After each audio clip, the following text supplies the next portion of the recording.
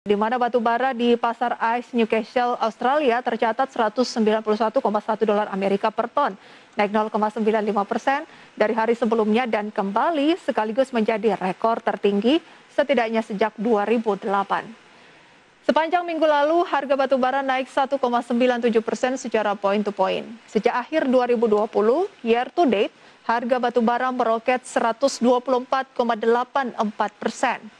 Harga gas yang semakin mahal ikut mengatrol harga batu bara. Harga gas alam di Henry Hub, Oklahoma melonjak 3,39 persen secara year to date, harga melesat 107,88 persen. Sementara di sisi lain, pemerintah Australia menyatakan belum berencana untuk mengurangi penggunaan bahan bakar fosil dalam kegiatan industrinya.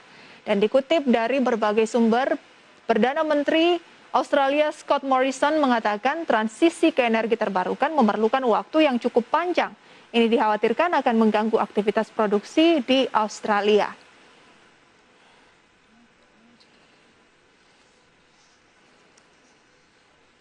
Ya, tampaknya Perdana Menteri dari Australia ini belum setuju untuk melakukan peralihan ke energi baru uh, terbarukan pemirsa saya dalam kurun waktu 50 tahun secara bertahap masih agak berat karena itu merupakan salah satu uh, sumber penghasilan utama juga dari Australia yaitu pertambangan batu bara dan juga gas.